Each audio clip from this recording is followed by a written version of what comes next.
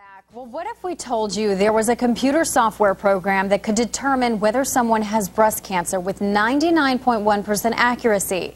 And even more amazing if we told you the creator of that software is barely old enough to drive. ABC 7's Fallon Silcox joins us now with that story. Fallon?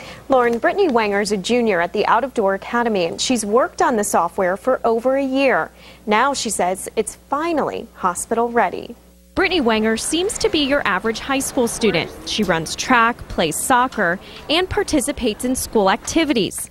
And there's one more thing that Brittany does. She also creates potentially life saving computer software. I created a computer program that's an artificial neural network. Artificial neural networks are programmed to think like the brain and model the brain's neurons and their interconnections so that it can detect patterns that are far too complicated for programmers to know how to tell it to detect it.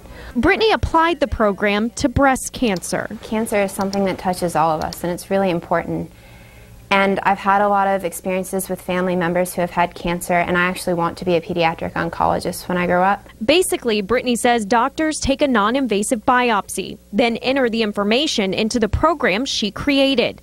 And it takes that information, analyzes it, and determines whether a person has cancer. I think it might be hospital ready. I'd love to get more data from different doctors. Right now I have 700 test samples. And while that's impressive in itself, Neil Phillips, who's head of upper school, says Brittany's accomplishments go beyond the realm of science. She's a great citizen. She's just kind and personable and soft spoken, um, confident. Uh, she's just a good kid in all the ways that you, you mean when you say that. And when Brittany thinks of her software actually being used in hospitals to treat patients one day, it'd be incredible. And I would, I think more importantly, it means for everybody who would be using this, it'd be a lot less invasive for them.